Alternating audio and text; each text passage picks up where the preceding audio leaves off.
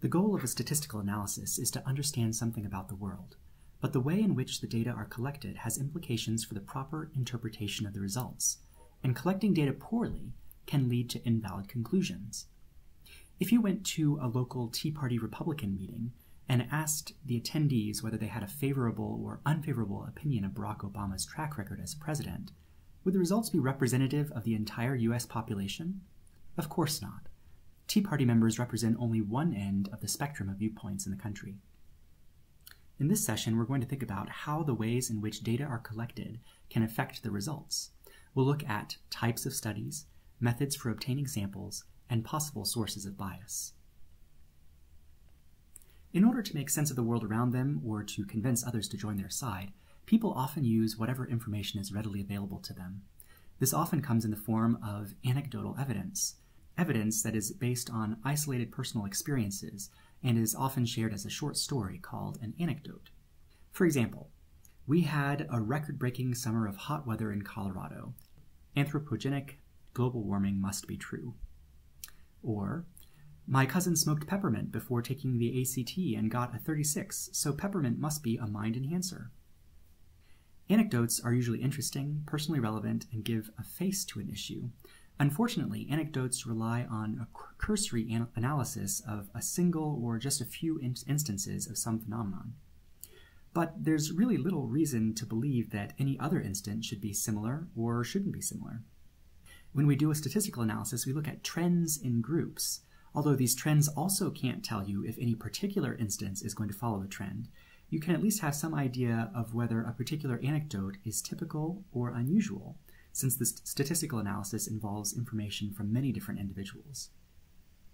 So if we don't want to rely on anecdotes that we happen to have available to us, how can we more reliably gather information? Well, one option is an observational study. This is a study that collects information about subjects only through observation, as opposed to doing something to the subjects to see how they respond. For example, a researcher goes into a classroom, watches students, and counts the number of times that male and female students raise their hands to answer a question. Or a researcher goes through public records to determine the number of car accidents in a year and the color of each car involved. Or a researcher sends a survey to a bunch of college students asking how much TV they watch which shows they prefer, and how often they go on dates. Observational studies can be very useful for gathering information about real people with their real lives in the real world, and can often be relatively cheap, despite gathering information about a lot of different subjects. Observational studies are also good for situations in which it may be impractical or unethical to run an experiment. One limitation to observation studies, though, is uh, lurking variables. These are unobserved variables that are related to those under study. For example, you might look at monthly data of ice cream sales and shark attacks and see that when ice cream sales are higher, shark attacks are also higher. From this, you might conclude that ice cream sales and shark attacks are related. Hmm, do sharks like ice cream? But here, the temperature is a lurking variable. When it's warmer, in the summer say, more people eat ice cream and more people go to the beach, and so more shark attacks happen. Ice cream sales and shark attacks aren't actually related to one another. They're each related to the lurking variable of temperature. You can only collect but so much information while observing, and you can never be 100% sure that there is some important unobserved variable that's driving the relationships you see in, in your observations. So, when it's fe feasible, it's often informative to conduct an experiment this is a study in which researchers assign subjects to different conditions and observe the outcome for each group. This is instead of just hoping that some people will be in one condition and some people in another, and then observing. In this case, the researchers actively ensure that subjects will be in each condition. The treatment is one of the different conditions of an experiment corresponding to the actions that are done or not done to or for the subjects. For example, a treatment could be attending a new training session, or not attending a new training session. Treatment could be eating a high fiber diet or eating a low fiber diet, taking an aspirin each morning, or not taking any aspirin regularly. Note that in this, these cases, not attending a new training session or not taking an aspirin are called control treatments. In addition to simply ensuring that all conditions are represented, experiments provide a very useful mechanism for removing the potential for lurking variables via random assignment. Random assignment is where you assign subjects to treatments in, an experiment without respect to their particular characteristics, that is to say, randomly. When a subject's treatment is assigned randomly, the fact that they're in group A or group B isn't related to any other variable. It was random, after all. This means that there cannot be any lurking variables. Lurking variables are related to the variables under study, even though they aren't observed. If the treatment is randomly assigned, then it isn't related to any other pre-study variables. Under random assignment, each of the treatment groups is equivalent, on average, to the full population. Since the only difference between the groups is their treatment, any difference in outcomes for the two groups must be due to the difference in treatments. Recall that in quantitative studies, we are generally interested in an entire population, but we usually only have data for a smaller sample. Since we want to make inferences about the entire population, how we select the sample becomes very important. This is called sampling, that is to say, the way subjects are chosen for a sample. If the sample isn't representative of the population, our inferences are going to be incorrect. One type of sample is a convenience sample. This is where a group of subjects are selected because they happen to be readily available. For example, the students in my class. Another example, a local elementary school. Convenience samples are easy to find. After all, you just pick whoever's at hand. This makes the study easier to conduct. However, there's no guarantee that those who are convenient are anything like the population as a whole. If you take a convenient sample in rural Nebraska, the subjects may not be much like people in inner city New York. A special type of convenient sample is a volunteer sample. This is where a group of subjects is selected because they volunteered to participate. For example, a survey that's on the internet. People go to a website and they take a poll, they're volunteering to participate. Most medical research also consists of volunteer samples. In volunteer samples, people have different motivations for volunteering for a study, and some of those motivations could be related to the variables under study. That is to say, they could be lurking variables. When you have a volunteer sample, you have to ask yourself, how could the people who volunteer be different than the people who don't volunteer? For example, suppose the administration of Regis University puts a poll on the Regis website to determine how students feel about the cafeteria food at the university. To participate, students have to volunteer to go to the website and fill out the poll. Students who feel particularly strongly about the cafeteria, either favorably or unfavorably, are more likely to go to the effort of filling out the poll than students who don't feel strongly. The results for the sample will likely show more extreme views than the views for the entire population of students. Instead of a convenience sample, one could use a random sample. This is where a group of subjects is randomly selected from the entire population. For example, the US Census Bureau runs a survey called the American Community Survey. They select households randomly to participate in this survey.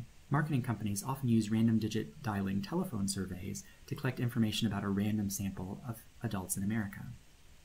Just like an experiment with random assignment to treatment groups, subjects in a random sample and subjects not in a random sample are going to be equivalent, on average, because participation in the study isn't related to any other variable. After all, it's random. Random samples are most likely to be representative of a population. However, it can be logistically difficult to achieve a true random sample. Think about a random sample of adults in the US. The population covers a large area, and some people are difficult to reach. And there's no master list of the population from which to draw names. We gather information about samples with the goal of making inferences about the entire population.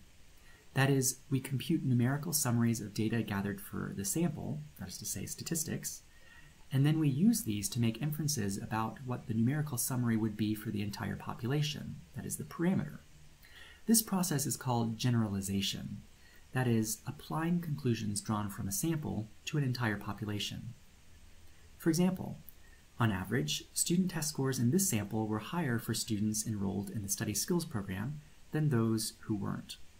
Therefore, student test scores across the whole university would be higher on average for students enrolled in the study skills program than for those who don't enroll. We move from information about the sample, these particular students who were enrolled in the study skills program, to the population, all students at the university. If the sample is representative of the population, these inferences are often likely to be correct.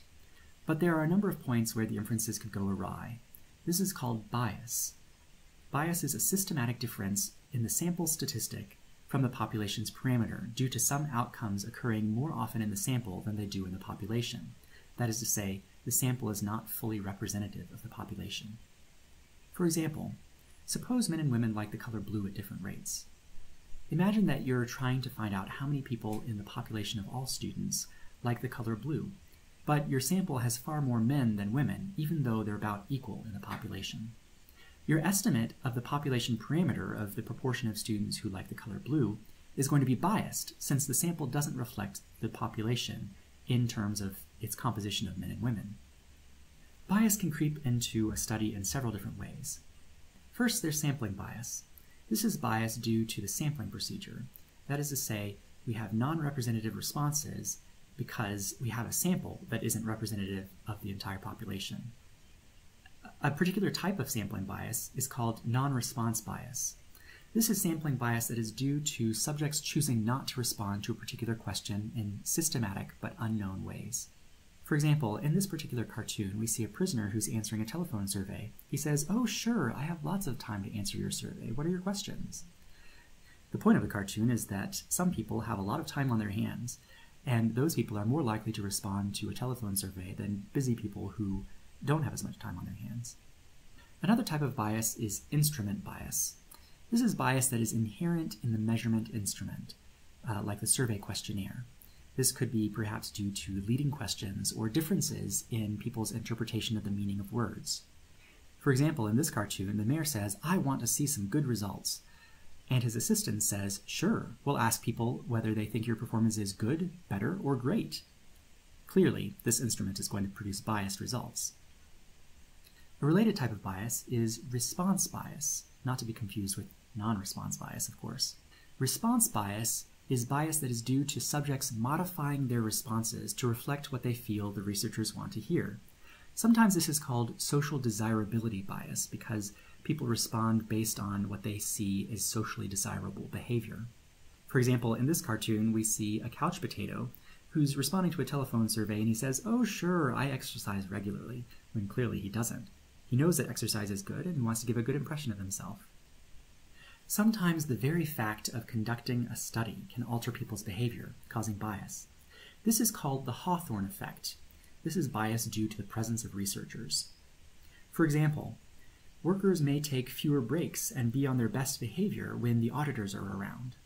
Somewhat related to the Hawthorne effect is a kind of bias due to a quirk of human psychology in which believing you are receiving something beneficial actually produces a beneficial effect, even if the thing that you got doesn't really carry any, benefits. This is called the placebo effect.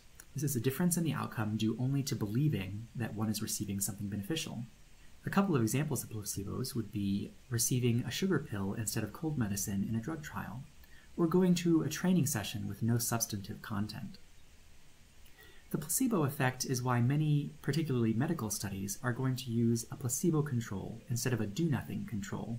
That is to say, they may give you a sugar pill instead of just saying, I hope you feel better after you get a cold. This is because they want to find the effect of, say, the drug beyond the psychological effect of believing that you're getting something beneficial. The Hawthorne and placebo effects are sometimes why we conduct a blind study. This is a study in which the participants don't know which treatment they're receiving, so they can't uh, alter their behavior or their responses based on what they think the results should be. Similarly, it's also possible for bias to enter in during the analysis phase. Sometimes the analysts may see an effect because they would really like for there to be one. This is why sometimes we conduct a double-blind study. A double-blind study is a blind study in which even the analysts don't know which group is receiving the treatment. Once they have determined whether there is an effect or a difference between the treatment groups, a third party reveals which group received which treatment. For example, in trials of extrasensory perception, it's possible that the person conducting the trial could provide body language that cues the participant uh, toward one response or another. Similarly, the analysts who may want to prove or disprove the possibility of ESP might inadvertently see or results in one way or another based on their preconceptions. This is why in ESP tests, frequently the people who are conducting the study have no idea what the results should be, and the people who, an- who analyze the results have no idea what the correct or true results are until they've made their conclusions and a third party can say whether they, they were correct or not. To sum it all up, the principle behind thinking about bias is to reflect on all of the possible reasons why the sample might be systematically different from the population, and then attempt to eliminate or minimize these influences so that we can generalize by making inferences about the population based on the results from our particular sample.